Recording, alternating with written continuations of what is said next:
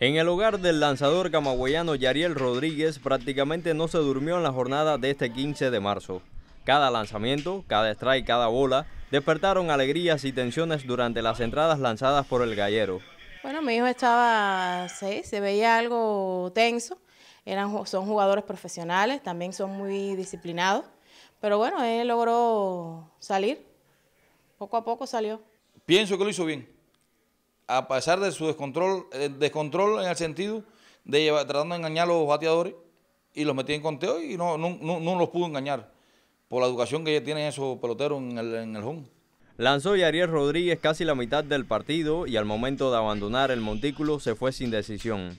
Sí, eh, el Clásico Mundial es una de las actuaciones más grandes que tiene un atleta y, y más un deportista cubano. Y la trayectoria de él de, como deportista fue incómoda y muchos pensaron que no llegaba y mira dónde está. Como en cada rincón de la isla y fuera de fronteras, la celebración no se hizo esperar luego de la victoria. En Camagüey, el camarógrafo Lianni Cedeño y Roberto Carlos Serrano para el sistema informativo de la televisión cubana.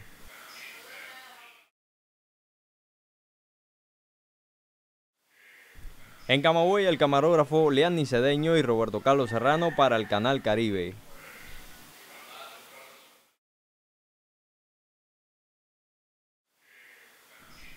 El camarógrafo Leanni Cedeño y Roberto Carlos Serrano, Televisión Camagüey.